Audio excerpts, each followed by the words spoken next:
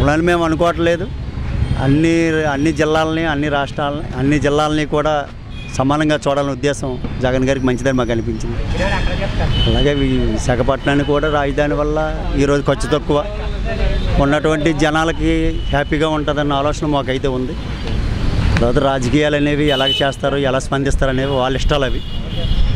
అన్ని జిల్లాలని కూడా సమాన దృష్టితో సమానంగా ఒకనాడు హైదరాబాద్ని డెవలప్ చేయడం వల్ల మనకు వచ్చే నష్టాన్ని మనం గమనించాం కాబట్టి ఇప్పుడు మనకు ఉన్నటువంటి అన్ని అన్ని జిల్లాలని డెవలప్ చేయడం వల్ల లాస్ లేదని మేము అనుకుంటున్నాం.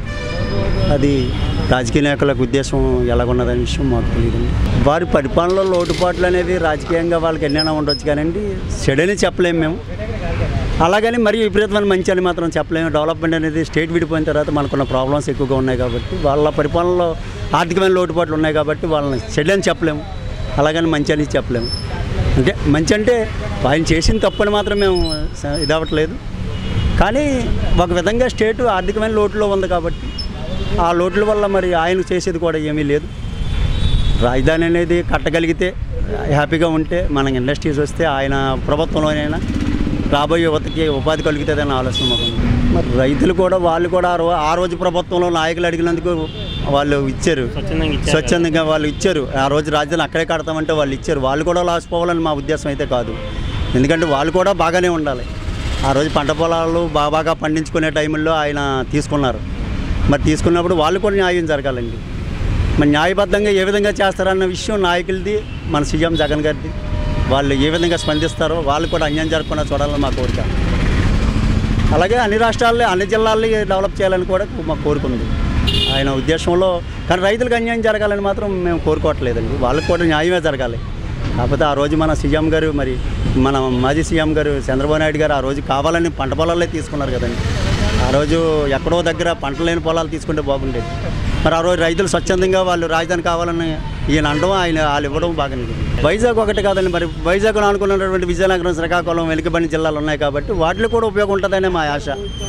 ఇప్పుడు ఈ మూడు జిల్లాలని ఉత్తరాంధ్ర జిల్లాలని డెవలప్ అవుతాయని విశాఖపట్నం అంటే సచివాలయంగా ఆయన అభివృద్ధి చేస్తే ఈ మూడు జిల్లాలు కూడా వెనుకబడిన జిల్లాలు కాబట్టి రెండు జిల్లాలుగా వాటి కూడా అభివృద్ధి అవుద్దనే మా ఉద్దేశం.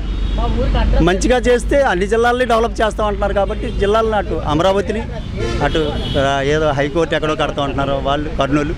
ఇటు ఉత్తరాంధ్రాన్ని కూడా డెవలప్ చేస్తే మూడు జిల్లాలని రేపు ఎప్పుడు కూడా భావితరాలకు ఇబ్బంది లేకుండా ఉంటుందని మా ఆలోచన. అంటే నగరీకరణ బాగా డెవలప్ అవుతుంది. బయట నుంచి ఎక్కువ వస్తారు అనమాట ఇక్కడ. సో క్యాపిటల్ వచ్చిందంటే వేరే కంపెనీస్ రావడానికి కూడా అవకాశం ఉంటుంది.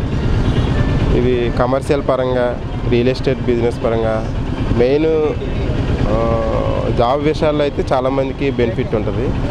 వాళ్ళకైతే కంపల్సరీ న్యాయం చేయాలి. న్యాయం చేయకుండా అంతా ఇక్కడే పెట్టేస్తామంటే అది ఎంత ఎంతవరకు న్యాయం కాదు.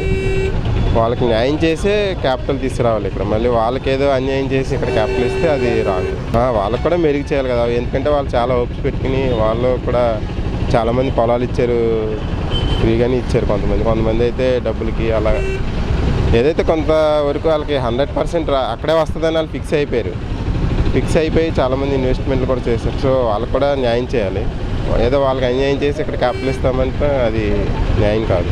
న్యాయం చేస్తే పర్లేదు. వాళ్ళకి న్యాయం చేస్తే పర్వాలేదు. న్యాయం చేయాలి హండ్రెడ్ పర్సెంట్ న్యాయం చేయాలి. కాకుండా వరకు వెళ్ళక్కలే వైజాగ్ ఇంకా డెవలప్ అవుతుంది. ఆ విషయంలో చెప్పగలను కానీ డెవలప్ అవుతుంది దానికి స్కోప్ ఉంది. అంటే పర్లేదు విశాఖపట్నంలో పెడితే.